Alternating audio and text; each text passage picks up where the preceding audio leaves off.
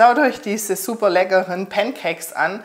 Ganz natürlich aus Dinkel-Vollkornmehl. Super ballaststoffreich, ganz ohne Weizenmehl, Weizenstärke, Natriumdiphosphat, Hydrogencarbonat, Diphosphat, Natriumcarbonat, Dextrose, Glukosesirup, Milchzucker, Backtriebmittel und Stärke. Wer braucht das schon?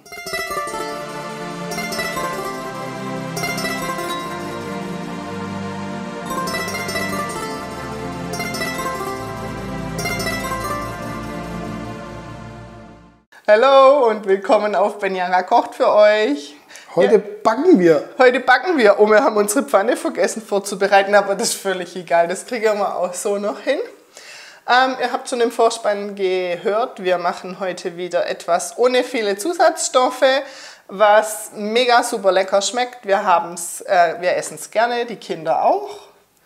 Äh, wie eigentlich alles, was wir ja machen, weil ich mache eigentlich nichts für euch, was mir auch nicht schmeckt oder uns nicht schmeckt. Genau, und man kann es doppelt verwenden, einmal als Nachtisch oder wie wir es heute machen, als Hauptspeise. Genau, ja, oder man könnte es auch mal ja, als, als Vorspeise für Gäste oder so machen, fällt mir gerade ein, das haben wir jetzt auch noch nicht gemacht. Ja, wir haben auch keine Gäste, deswegen genau, machen wir das haben wir jetzt eigentlich schon gesagt, was wir machen. Also es gibt Pancakes äh, und zwar mit äh, Dinkel-Vollkornmehl. Schmeiß genau, und das ist das Geschickte, sollte ich schon mal reinschmeißen, aber ja, ich habe ja noch gar nicht gesagt, was wir alles dazu brauchen. Dann, dann verzähl es und schütz gleich rein. Ah, nee, das geht so nicht, weil ich muss das während dem Mixen dann gleich. Okay, dann erzähl. Genau. Jetzt lass mir halt machen. Und ich Wir haben ja keine noch, Zeit. Ich habe ja auch noch mein Rezept, doch mir Zeit, mein Rezept liegen, ähm, weil das ist jetzt was, ähm, ich kann nicht alles auswendig kochen, was ich dann tatsächlich auch so mache. Ähm, jedenfalls brauchen wir vier Eier, zwei Esslöffel Rohrohrzucker. Kann ich euch echt empfehlen. Ich nehme es nicht für immer und überall, aber ich nehme es auch gerne in meinen Kaffee. Ähm, ich finde, der hat einen karamelligen Geschmack und man braucht dann einfach schon weniger davon, weil der so kräftig im Geschmack ist. Und ich finde, dann lohnt sich das wieder ich habe schon alles Mögliche ausprobiert, von Süßstoff bin ich nicht überzeugt, weil der dann wieder auf die Darmflora blöd reagiert. Äh, Birkenzucker ist meistens recht gut, aber der, der hat halt den Geschmack, den er hat. Das, mh. Hm, egal. Weiter, dann haben wir hier 200 Milliliter Hafermilch. Ungesüßte? Ungesüßte, genau. Äh, zwei Esslöffel Rosinen. Ähm, ich habe die euch in Wasser ein bisschen eingelegt, damit die einfach ein bisschen aufquellen. Ich mag das mehr, wenn die noch ein bisschen saftiger sind. Die waren jetzt schon arg, arg trocken schrumpelig, was ich da genau. gekriegt habe. Wer nicht weiß, was Rosinen sind, Zibebe. Zibebe, ja genau. Schwäbisch. Getrocknete Trauben, genau. Weinbeeren. Dehydriert. Dehydriert. Wir haben keine Zeit, hast gerade Jetzt machen wir weiter. Du hast gesagt, wir haben Zeit. Gemahlene Mandeln haben wir hier und zwar 60 Gramm. Ja, stimmt es? Ja. Ich mache nämlich ja die doppelte Menge. Jetzt habe ich gerade einen Schreck gekriegt, ob das passt. Dann haben wir hier 120 Gramm Dinkelvollkornmehl, ein Teelöffel Backpulver brauche ich nachher. Zum Ausbacken Kokosöl, das genau Kokosöl, schmeckt einfach, also ihr könnt auch jedes andere Öl nehmen. Es soll ja gesund sein, das Kokosöl, wobei sich da mittlerweile die Geister auch schon wieder wahnsinnig streiten. Ähm, ihr könnt auch jedes andere Öl, aber es schmeckt halt echt geil in der Kombination, wenn ihr Kokosöl nehmt. Nachher zum schön dekorieren und herrlich dazu essen, weil ähm, nur die Pancakes wäre dann wirklich auch langweilig zum Essen, brauchen wir noch 300 Gramm Obst. Ich habe mich da für Heidelbeere und zwei Kiwis entschieden. Ähm, ein paar Mandelblättchen, dann sieht es noch schön aus. Und Zimt, ich liebe Zimt immer noch oben drüber. Das macht nochmal so herrlich was her. So, jetzt lege ich mein Zettel mal daher und jetzt fange ich an. Jetzt brauche ich noch ein Messer, habe ich gerade gemerkt, weil ich schlage die Eier immer mit dem Messer auf. Kannst du mir vielleicht hier irgendwie was für den Abfall geben? Ja. Und an Haustüre gehen. Ich mache hier mal so lange alleine weiter. Das werde ich wohl hinkriegen. So. Jetzt habe ich die vier Eier hier reingeschlagen. Dann kommen zwei Teelöffel Rohrohrzucker dazu und die Hafermilch. Also quasi erst die feuchte, nassen Sachen zusammen. Und das Ganze mixen wir jetzt auch schon mal schön durch.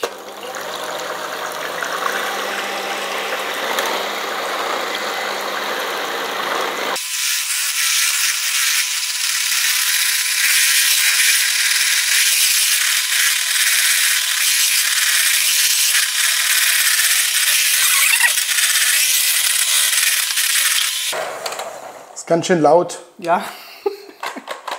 Und mein Mixer, der hat irgendwie mal, das macht der aber schon, ich habe den schon seit zehn Jahren, der hat ganz am Anfang mal irgendwie gemacht. Aber er hält immer noch. Ich muss mir kurz mal Da die Hände waschen. Machst du mir bitte einen Teelöffel Backpulver in das Mehl Das ist rein. mir gut.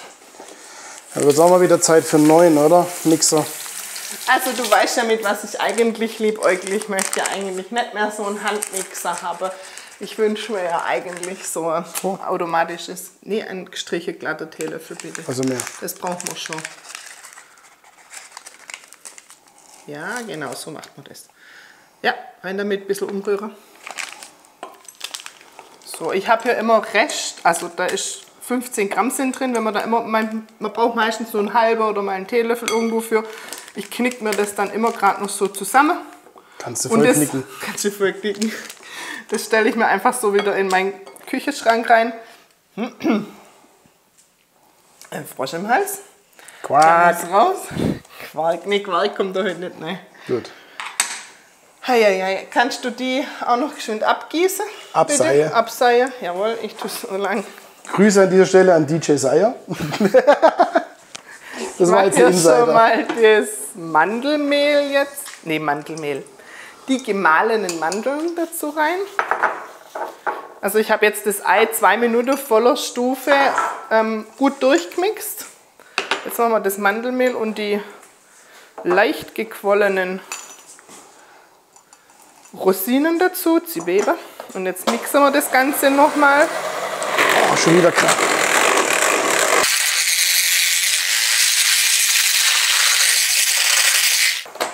So, also ihr seht, das Ganze ist schön schaumig. Das war am Anfang schon schaumig. Das ist wichtig, wenn ihr die Eier, Zucker und die Hafermilch zusammenmixt, dass ihr es zwei Minuten gut aufmixt, dass das schön schaumig wird. Das ist nachher einfach diese Fluffigkeit dann in dem Ganzen. Jetzt streuen wir hier vorsichtig dieses Mehl noch oben drüber. Das Vollkorn, Vollkorn-Dinkelmehl, nicht einfach nur Dinkelmehl und mixe es schon wieder, aber nur noch langsam, dass das Mehl gerade so noch untergeht und wir jetzt nicht den ganzen Teig komplett erschlagen mit dem Mehl, weil der soll ja schon fluffig bleiben.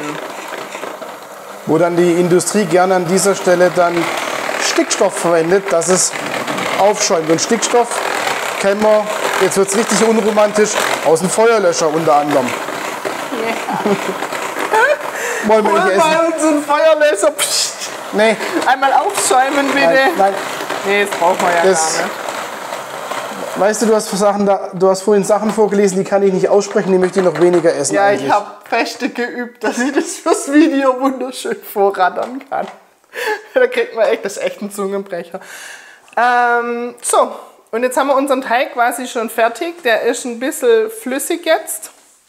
Aber den müssen wir jetzt 15 Minuten stehen lassen. Das Vollkorn-Dinkelmehl braucht es. Und in der Zwischenzeit äh, mache ich meine Kiwi schnippelig klein und bereite mir hier alles vor, dass wir dann die ausbacken können zusammen. Reicht Kiwi schneiden und gut ist oder muss man noch ein bisschen mehr vorbereiten für die? Das können die Leute so nebenbei ja auch machen. Äh, stimmt, wir können in der Zwischenzeit auch die noch anrösten, weil das ist dann auch, genau. Gut, ich stelle das jetzt mal kurz auf Seite dahinter. Dann hole ich mal die Pfanne und dann zeigen wir euch das. Ja? Genau. Aber ähm, das machen wir jetzt hier runter, weil das backen wir nicht mit. Zumindest nicht alles.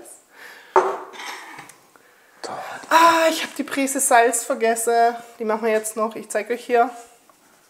Ich mache da echt immer bloß wenig und dann hier eine Prise und die gehört da hinten noch rein. Für alle, die nicht wissen, was eine Prise ist, eine Prise ist das, was zwischen Zeigefinger und Daumen. Nee, nee. Und Mittelfinger. Mittelfinger auch noch. Ja, die drei so und dann da rein. Da habe ich jetzt noch drei Körnle, also auf die kommt es jetzt auch nicht drauf an. Aber weh, das ist versalzen nachher. Jetzt muss ich es nochmal ein kleines bisschen. Das Ja, man braucht eine kleine Prise Salz, ist immer gut, wenn man was Süßes macht.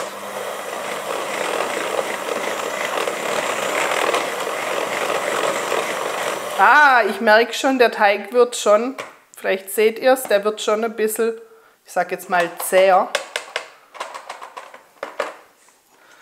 Weil dieses ähm, Das, Mehl, das Glutengerüst fängt an zu arbeiten. ja, da kommt hier wieder der Bäcker wieder raus. Ja, ja. Das ist Benny sein Spezialgebiet. So, hau mal die Pfanne volle Kanne an.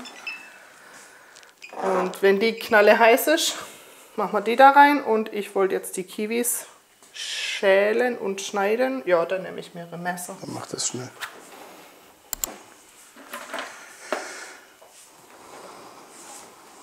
Und ein Brettle brauche ich. Dann nimm dein Brettle.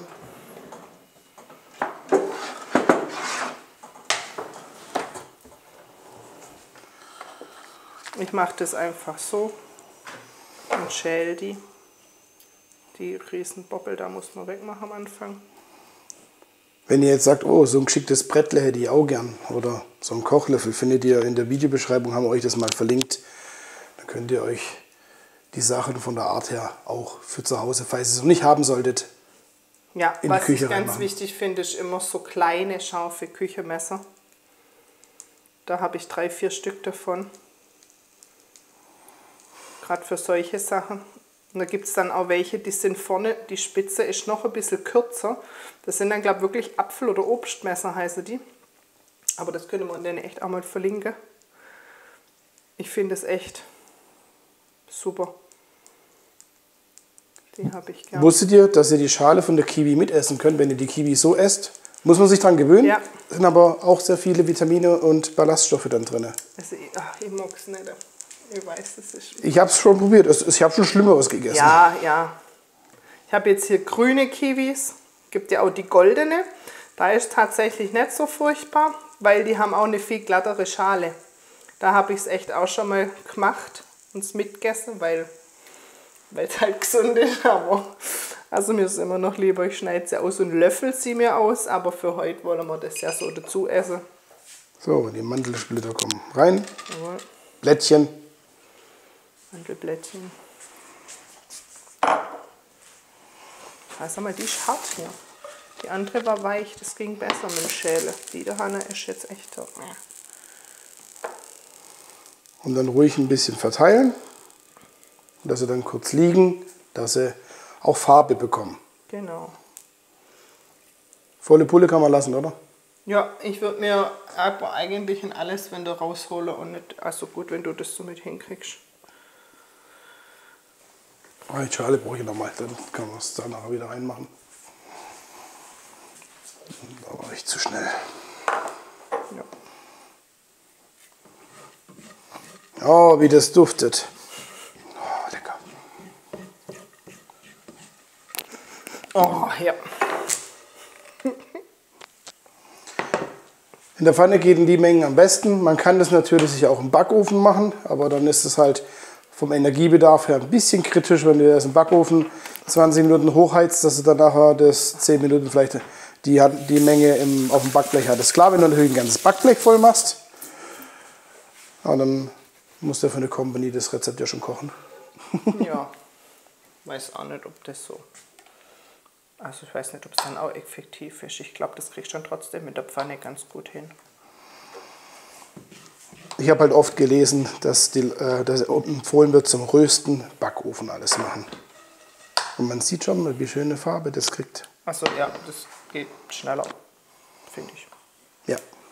Ja. Wenn ich jetzt irgendwie, ähm, was wir auch schon ausprobiert haben, äh, eine Haselnuss-Schokocreme selber machen, dann brauchen wir viele Haselnüsse Ja. und die muss man dann schälen und dies ist dann sinnvoll, das im Backofen zu machen.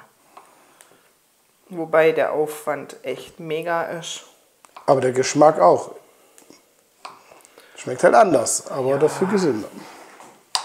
Können wir auch mal machen, wenn uns langweilig ist. Ja, Also nie.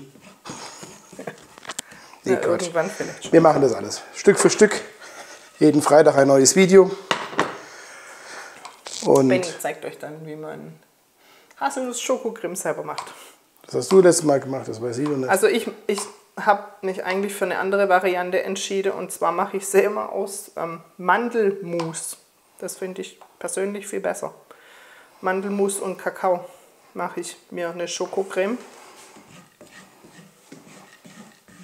Wobei das, ähm, ja, ich finde auf dem Brot selber zum Essen finde ich es nicht so gut. Ich habe dann immer Banane dazu gegessen, Schokobanane. So als Snack, aber ja, das mache ich echt sehr selten. Deswegen habe ich das jetzt auch noch nicht erwähnt. Kann.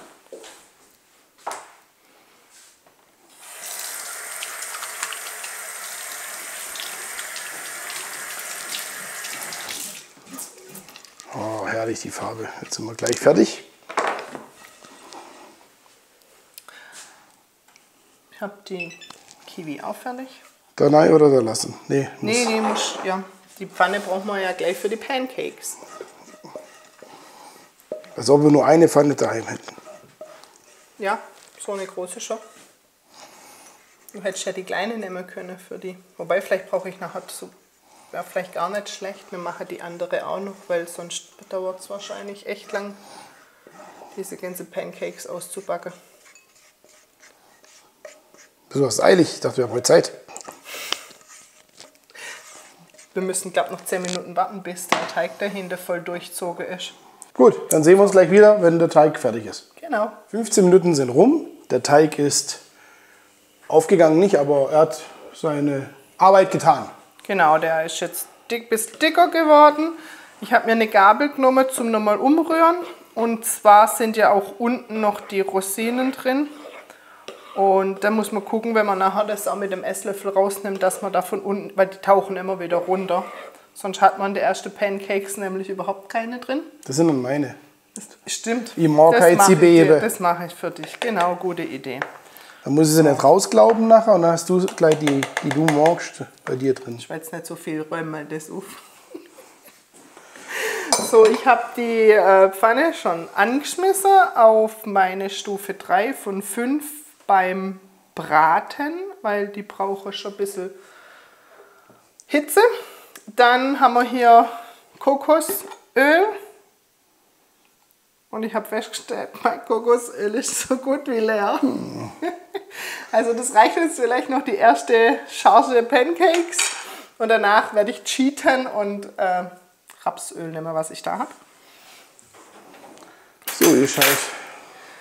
Kommt in der beste Haushalte vor, dass es mal leer ist. Und da ich nicht so der Hamsterkäufer bin, brauche ich keinen Ja, ein. Hamster in der Pfanne Ja. ist auch blöd, weißt du? Absolut. Weißt du, das Fell klebt dann am Teig, das schmeckt nicht.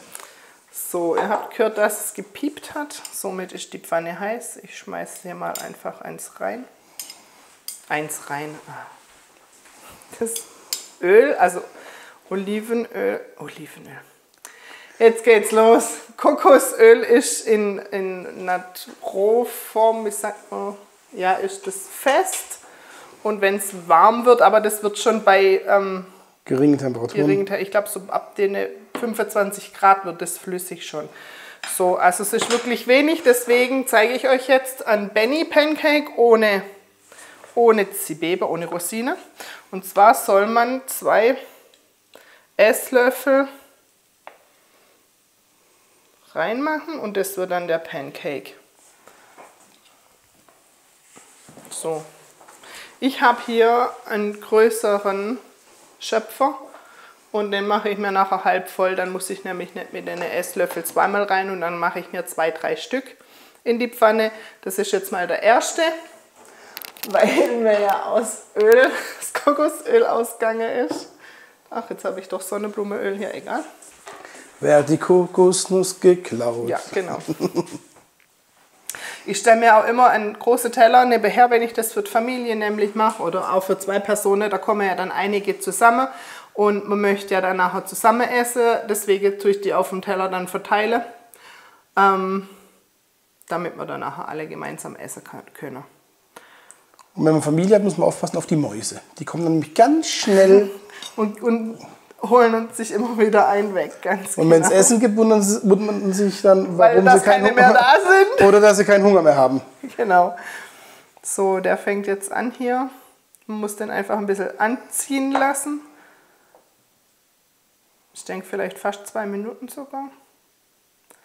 Der fängt jetzt an der Seite, wenn er außen am Rand anfängt, das, ja, das sieht man dann, dass es gebacken ist, dann kann man es umdrehen. Traue mich jetzt auch noch nicht, ich warte lieber noch kurz ein bisschen. nicht, dass gleich der erste wupp und auseinander. Kann auch passieren. Passiert auch mir manchmal.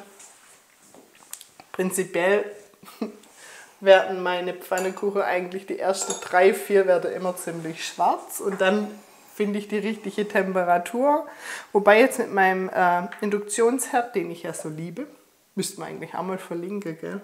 Auch jemand einen Induktionsherd? Ich kann es euch nur empfehlen. Auf Stufe. Oh, Jetzt guck mal nicht, dass er schwarz wird. Der wird nicht schwarz. Oder? Ja, gut. Nein, perfekt. Perfekt. Perfekt. Benny hat den richtigen Riecher gehabt. Also ähm, bei mir ist Stufe 3 äh, auf dem Braten. Ich habe fünf Stufen, also ja, ein bisschen mehr wie die Hälfte. Und dann wird es lecker schmecken. Genau, nicht auf, die, nicht auf die Idee kommen, das runterzudrücken, weil sonst machst du die ganze fluffige Luft, die da drin ist, matsch Blatt. raus. Ja, hier steht es ein bisschen hoch, das mache ich dann schon gern so ein bisschen runter, aber ja. dass es da noch braun wird. Es ist halt kein industriell hergestelltes Produkt, es ist zu Hause hergestellt und dann muss man halt einfach mal auch kleine Schönheitsfehler tolerieren. und bei der ist sehr schön geworden. Ja. Bin ich echt stolz drauf. So, mal gucken. Ja. Uh. Mal umdrehen. Ah, perfekt, die Tutto. Schau mal, der erste. So, jetzt zeige ich euch hier, jetzt nehmen wir halt in dem Fall Sonnenblumenöl. Das sind vielleicht so ein, zwei, ja, anderthalb Esslöffel. Ich schwenke das dann hier hin und her, dass das Öl überall mal in der Pfanne war. So. Und jetzt habe ich gesagt, ich nehme den großen Löffel. Gell? So ist halt, wie ich das halt mache. Jetzt rühre ich das nochmal kurz um, wegen deine Zibebe. Zibebe. Mal gucken, ob wir jetzt welche erwischen. So, und jetzt ist das fast. Ja, perfekt. Das sieht auch gut aus. Njam, njam. Eins, zwei, komm. Uh, das war jetzt ein großer Pancake. Drei. So, drei Stück kriege ich gut in eine Pfanne rein. Ich glaube, jetzt mache ich mir hier mein meine Uhrzeit an, damit ich sehe, wann eine Minute rum ist. Und ich sie dann umdrehen kann. Wobei, die, guck mal, die Pfanne gibt nochmal, jetzt sind sie schon schneller. Das ist auch so rum schon. Ja gut, die Pfanne erwärmt sich ja dann. Die erwärmt sich immer noch weiter, ja, obwohl sie eigentlich piept hat und die eine Temperatur hat. Aber so ist ja recht, wenn es jetzt schnell geht. Klar, weil kalt möchte man sie auch nicht essen. Das war jetzt ein bisschen früh. Nein! Ja. Nein! Gerettet! Ja! Da war eine Rosine, da muss man wieder ein bisschen drücken.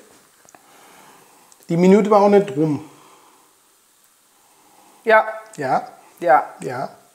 Ich kann es nicht abwarten, das ist halt nicht meins. Jetzt ist die Minute rum, aber jetzt traue ich mich nicht mehr. Jetzt hast du recht. Jetzt warten wir halt noch mal eine halbe. Sollen wir einen Witz erzählen? Mach. Mir fällt aber keiner ein, das ist das Problem. Das ist ein schlechter Witz, oder? Ja.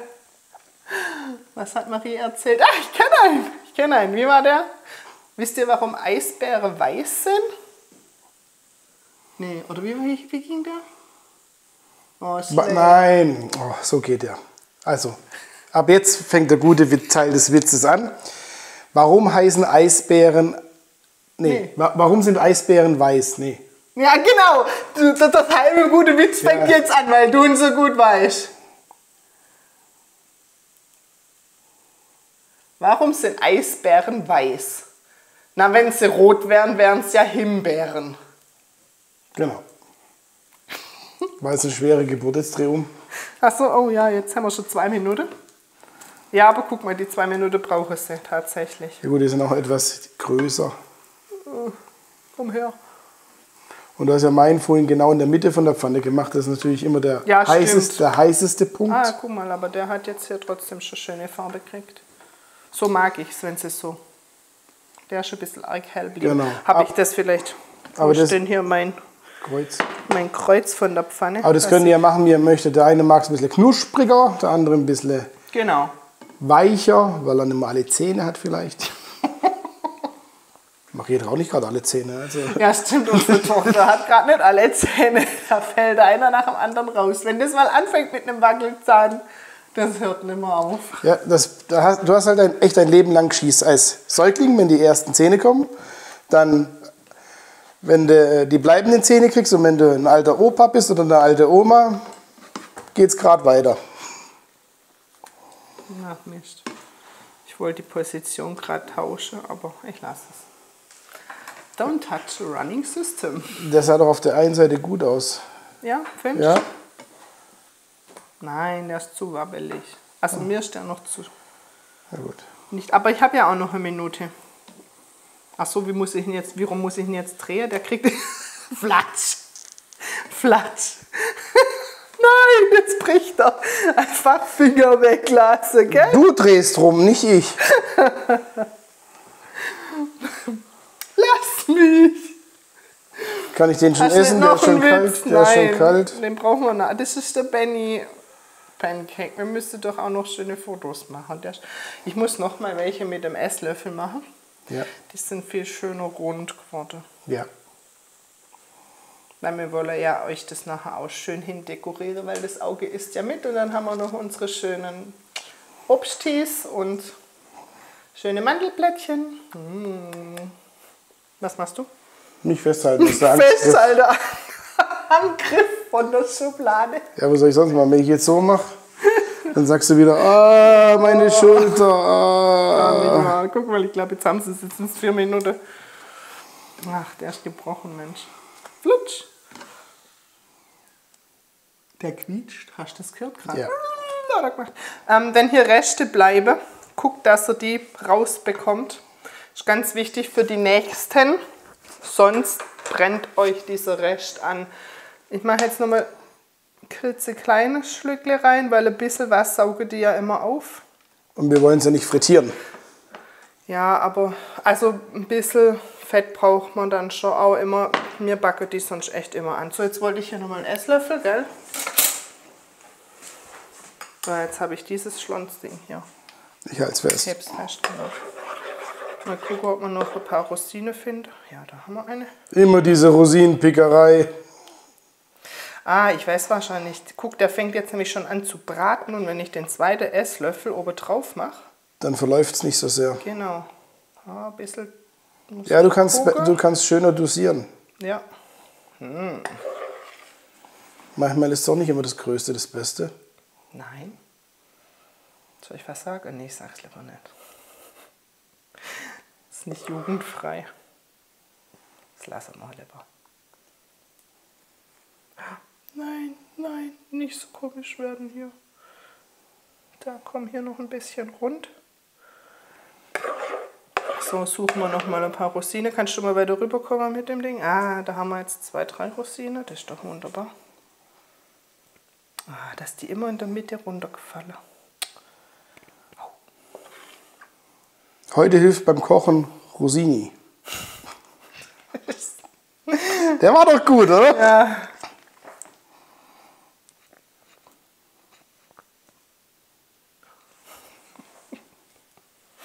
Ja, da habe ich ein bisschen rausgekleckert. Aber. Ja, komm. Soll ich es wegnehmen, oder? Ja, verkünsteln wir uns heute voll.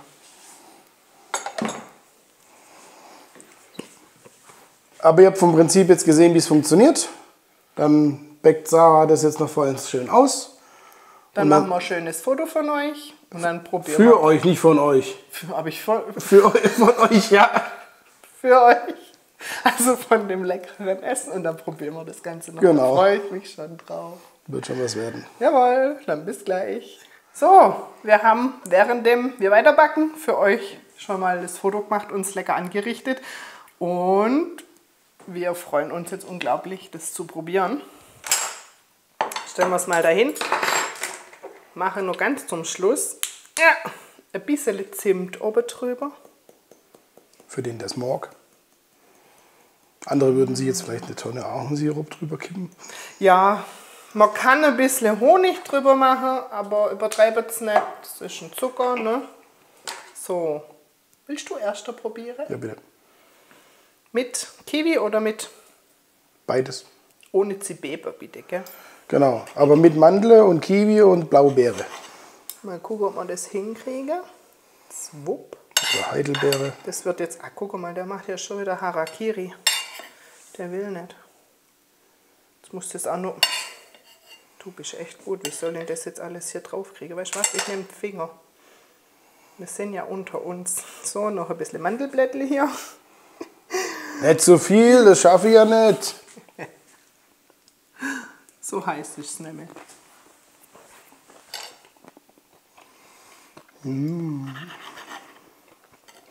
Hammer. Ich glaube, mit der Kiwi ist richtig geil, oder? Das Essen, du hast halt fünf komplexe Geschmacksrichtungen. Du hast den Pancake, der locker leicht ist, hier, wie, wie die Sonne durchscheint. Du hast die Kiwi, die separat im Geschmack drin ist. Du hast die Blaubeere, Heidelbeere, die im Geschmack drin ist.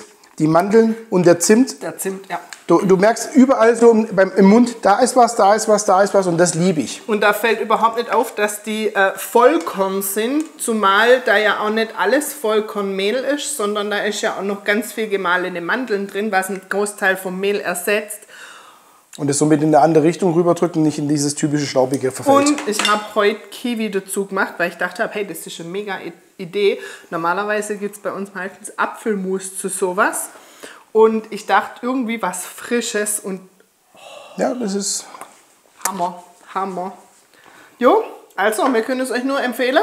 Macht's nach. nach der Frage. Wenn Genau. es euch gefällt, wenn ihr es selber nachgemacht habt, schreibt uns in die Kommentare, wie ihr das gefunden habt. Dann lasst uns natürlich einen Daumen nach oben da. Genau, alle Rezepte könnt ihr unter benjara.de nachlesen. Und wenn ihr noch mehr lustige Videos von uns haben wollt mit leckerem Essen, Nachtisch, Nachspeise, findet ihr hier,